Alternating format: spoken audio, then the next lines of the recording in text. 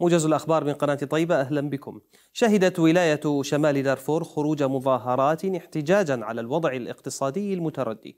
وخرج المتظاهرون ليعبروا عن رأيهم واحتجاجهم على فشل الحكومة في توفير الخبز والكهرباء وكذلك الانعدام التام للأدوية خاصة أدوية الملاريا والتي تعتبر ضرورية في هذا التوقيت من العام الذي يشهد تزايدا في حالات الملاريا عقب موسم الخريف. عقدت وزارة الصناعة والتجارة بولاية الخرطوم اجتماعا اليوم مع اللجنة التسييرية لشعبة المخابز وذلك بغرض التفاكر حول الآثار المترتبة على إعلان أسعار جديدة للوقود على صناعة الخبز.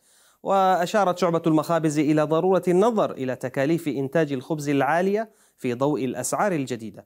فيما أمنت وزارة الصناعة والتجارة بولاية الخرطوم على الأثر المباشر لذلك على صناعة الخبز. حذر خبراء اقتصاديون من زيادة معدلات التضخم على خلفية رفع الدعم عن الوقود ليتجاوز حاجز المئتين في المئة. وأكد الاقتصادي عز الدين إبراهيم في تصريحات صحفية أن معدل التضخم حاليا أكثر بكثير من الأرقام المعلنة خاصة مع الارتفاع المستمر في أسعار السلع الاستهلاكية. وأضاف أن رفع الدعم عن الوقود سينعكس بصورة كبيرة على كافة القطاعات خاصة النقل والمواصلات وارتفاع تكاليف الترحيل للبضائع بين الولايات. مشيرا إلى أن تحرير أسعار الوقود قد يسهم في تراجع معدلات التضخم على المدى الطويل ولكن في المدى القصير ستكون له آثار كارثية.